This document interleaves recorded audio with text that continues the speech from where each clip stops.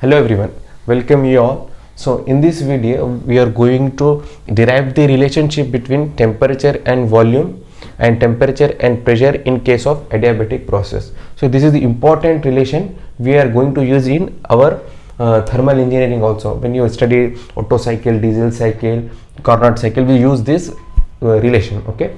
So now as we know from the adiabatic process we have already discussed about the adiabatic process and we have derived the relation for the law PV per gamma is equals to constant and work done in case of adiabatic process also we have seen. So now what is adiabatic process? It follows the law PV power of gamma is equals to constant and there is no heat transfer. Q is 0. Okay.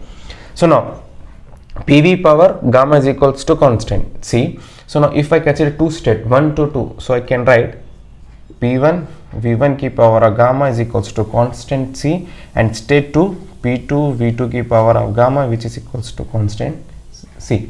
So from this I can write P1 V1 की power of gamma which is equals to P2 V2 की power of gamma which is equals to C constant. Okay.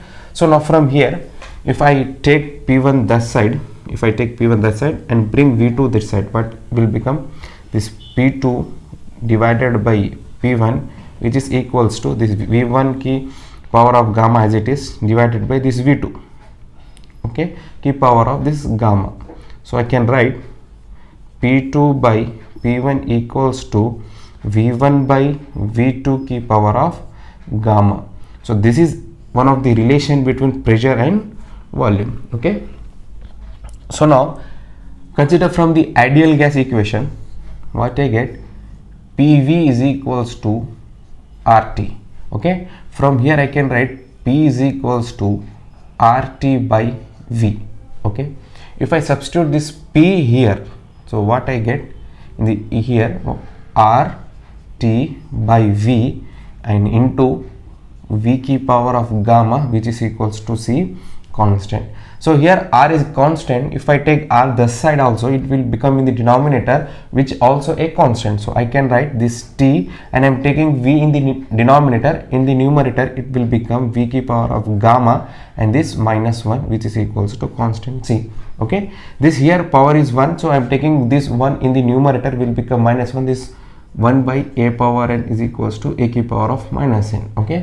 Now here bases are same and power i have added power so this is the relation Tv ki power of gamma minus 1 is equals to constant. So from this I can write T1 V1 ki power of gamma minus 1 equals to T2 V2 ki power of gamma minus 1 which is equals to constant. So now again if I rearrange the term, if I take T1 that side and I bring V2 here, what I get?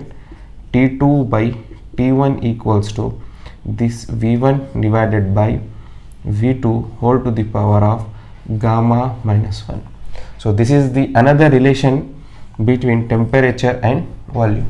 Okay? So now if i consider again this ideal gas equation pv is equals to rt from here i have written p. Now i'm taking v which is equals to rt by p. Okay? If i substitute v again here what i get?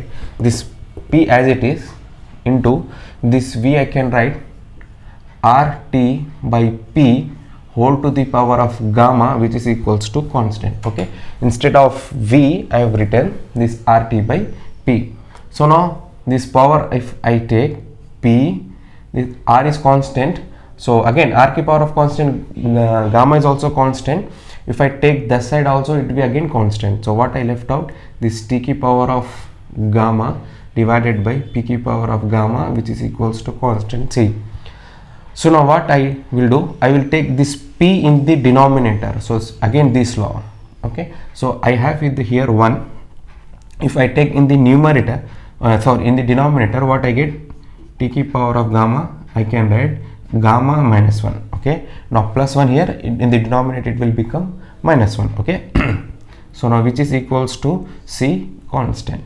So i can write from this again this relation t1 की power of gamma divided by p1 की power of gamma minus 1 which is equals to t2 की power of gamma divided by p2 की power of gamma minus 1 okay now if, if i take cross multiply if i take this term here and this term here what i get this t2 की power of gamma divided by i am taking t1 in the denominator T1 ki power of gamma which is equals to now I am taking this P1 in the uh, numerator what I get P1 ki power of gamma minus 1 divided by P2 ki power of gamma minus 1 okay?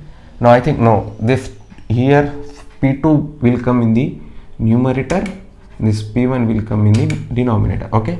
Now if I rearrange this P2 here and this T1 here. Okay? So now T2 by T1 equals to P2 by P1 now here I can write T2 by T1 whole to the power of gamma which is equals to P2 by P1 whole to the power of gamma minus 1 okay? If I take gamma that side it will become T2 by T1 equals to P2 by P1 whole to the power of gamma minus 1 by gamma.